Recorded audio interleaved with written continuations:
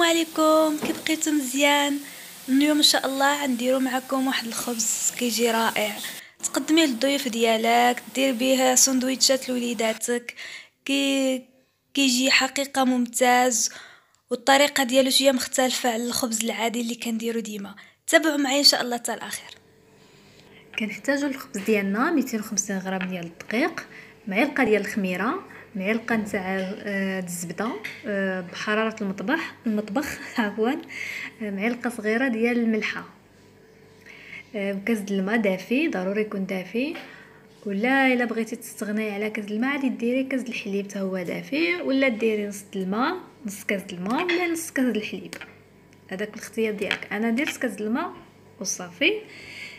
آه شنو بغيت نقول لكم؟ آه بغيت نقول لكم على حسب العجينة. هاد العجينة بغيتي تعجنيها بيديك هي خصها شوية دليك بغيتي تعجنيها بيديك ولا بالعجانه المهم وهي خصها شوية نتعدليك والقوام ديالك يجي بحال المسمن.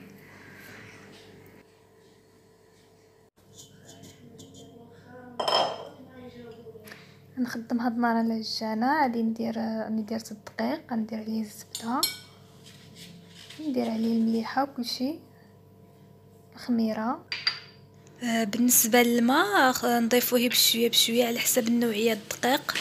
كاين الدقيق اللي كيشرب كاين اللي لا.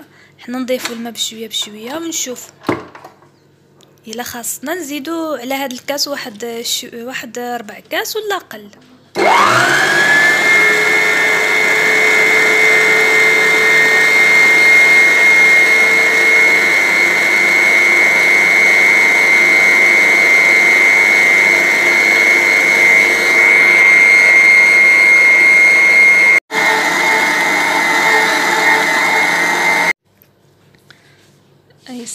سلات العجانة ديالنا.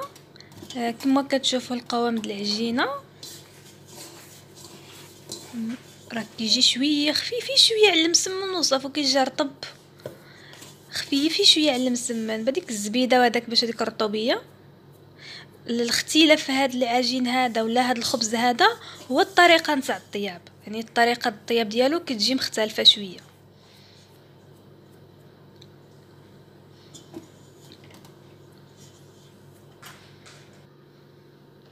كنغطيو العجين ديالنا ونخليوه يرتاح واحد 15 دقيقة ربع ساعة. ومن بعد كنجبدوه. ملي كترتاح لنا كيرتاح لنا العجينة ديك 15 دقيقة كنجبدوه وكنهزوه وكنصنعوا منه كويرات صغيورين.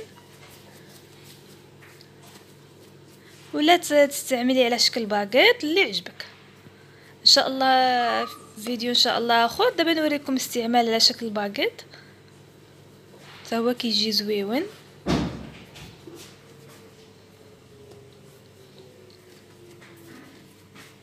راكم عارفين على حسب ضيق الوقت وهذا ما كيمكنليش ندير. إلا بغيتي تضاعفي المقادير ضاعفيهم بغيتي حبات يجيو كتر عندك ضيوف ولا هذا ضاعفي المقادير.